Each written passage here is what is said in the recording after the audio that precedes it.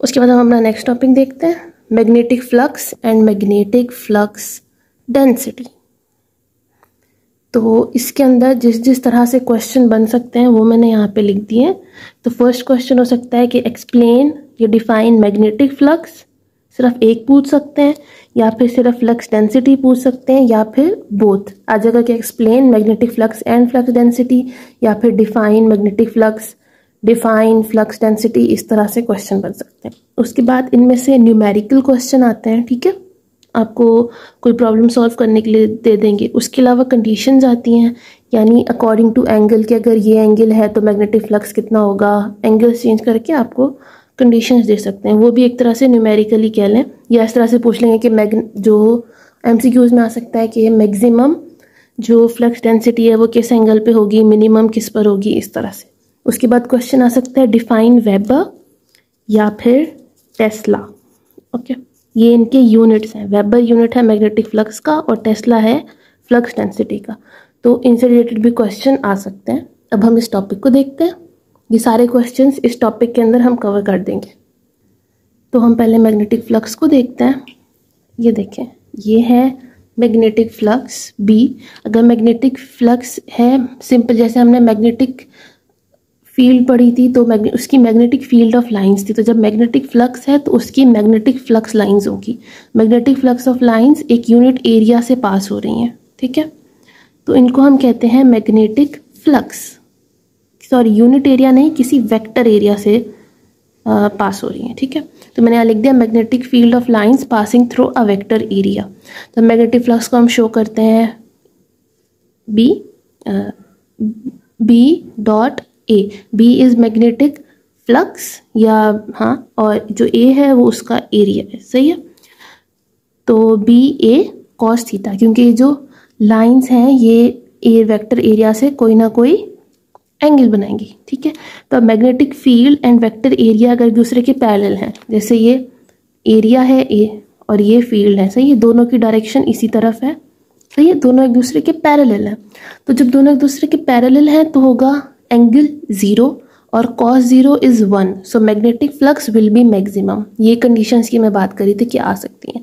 उसके बाद अगर हम ये देखें कि ये जो एरिया है, इस तरह है, सही है? तो इसका एरिया की जो है, हम नॉर्मली एरिया मतलब जो इसकी स्टैंडिंग साइड होती है ना, वो लेते होते हैं, ठीक है? इस तरह से। तो जब ये एरिया इस तरह है तो इसका एरिया ऑफ़ कोर्स ये ऊपर को चला गया।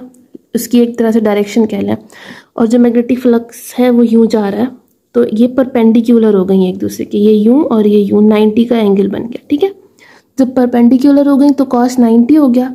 कॉस 90 इज़ ज़ीरो तो magnetic flux will be minimum और अगर कोई सरफेस है जो कि यूनिफॉर्म नहीं है, देखिए यहाँ से इसकी विर्थ ज़्यादा है, यहाँ से कम है और ये थोड़ा सा कर्व में है, ठीक है? कर्व में तो हम उसके लिए हम क्या करते हैं? अब यहाँ तो हर जगह पे अलग अलग फ्लक्स होगा तो हम क्या करते हैं? इस तरह का जो सरफेस होता है, उसको पैचेस में डिवाइड करके हर पैच का फ्लक्स निकालते हैं, जो हमें लगता है कि इतना एक पार्ट है, ये यूनिफॉर्म है, इतना यूनिफॉर्म है, उस, उसको हम अकॉर्डिंगली पैचेस में करके फिर एक एक का फ्लक्स निकालते हैं और फिर उनको ऐड कर देते हैं।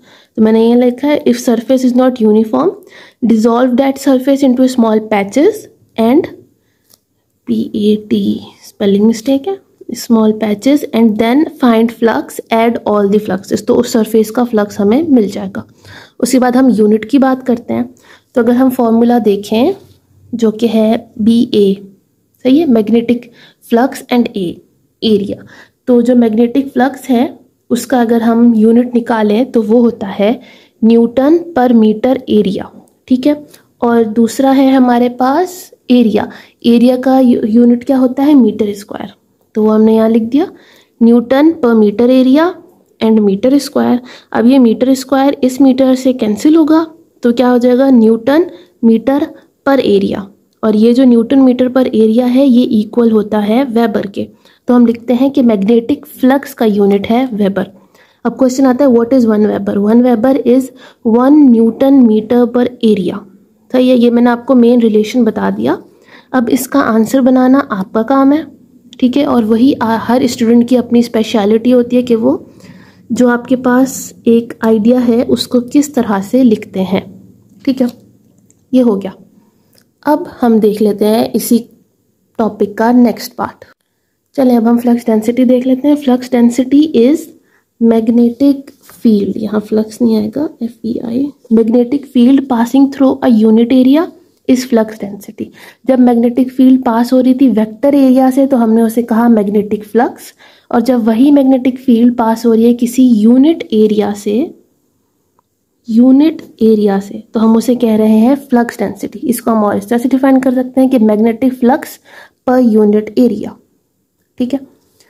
तो also called magnetic induction and magnetic field of strength magnetic field strength या मैग्नेटिक फ़ील्ड ऑफ़ स्ट्रेंथ तो जो फ्लक्स डेंसिटी है, उसके दो और नाम भी हैं। एक है मैग्नेटिक इंडक्शन दूसरा मैग्नेटिक फ़ील्ड स्ट्रेंथ तो जो हमने मैग्नेटिक फ्लक्स का फॉर्मूला देखा था बी डॉट ए उसी को हम चेंज करेंगे। B is equals to magnetic flux by area जो कि हमने ये लिखा magnetic flux per unit area वो हमने लिख दिया। अब हम इसका यूनिट देखते हैं। तो जो इसका यूनिट है मैग्नेटिक फ्लक्स का, वो है वेबर सही है? उसके बाद एरिया एरिया का है पर मीटर स्क्वायर यहाँ मैंने माइनस डालना भूल गई थी। या यहाँ पे हम माइनस नहीं, हम इसको इस तरह से लिखते हैं। वेबर पर मीटर स्क्वायर सही है? तो हम इसको ऐसे भी लिख सकते हैं। वेबर वेबर को हम डब्ल्यू भी लिख लेते हैं शॉर्ट करने के लिए, वरना ये इतना बड़ा होगा। Capital W and small B सही है? मीटर स्क्वायर ये उसका यूनिट है। और ये जो वेबर पर मीटर स्क्वायर होता है, ये इक्वल होता है वन टेस्ला के। इक्वल होता है टेस्ला के। अब जब एग्ज़ाम मतलब क्वेश्चन आता है कि व्हाट इज़ वन टेस्ला तो one weber per metre square is one tesla तो अब इसका आंसर भी आप लोगों ने अकॉर्डिंगली खुद ही थोड़ा सा डिफाइन करके, थोड़ा सा लॉन्ग करके लिखना है। तो ये थे दो टॉपिक्स जिसके अंदर हमने एक तो डेरिवेशन कवर कर ली और जो हमारा ये सेकंड टॉपिक था इसके अंदर दो सब टॉपिक्स थे और इसके अंदर हमने चार शॉर्ट क्वेश्चंस कवर कर लिए अब बाकी रिमेनिंग हम नेक्स्ट वीडियो में कवर करेंगे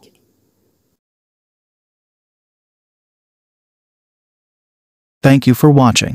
Book your free demo lecture now. For more free videos, support us by subscribing to this channel.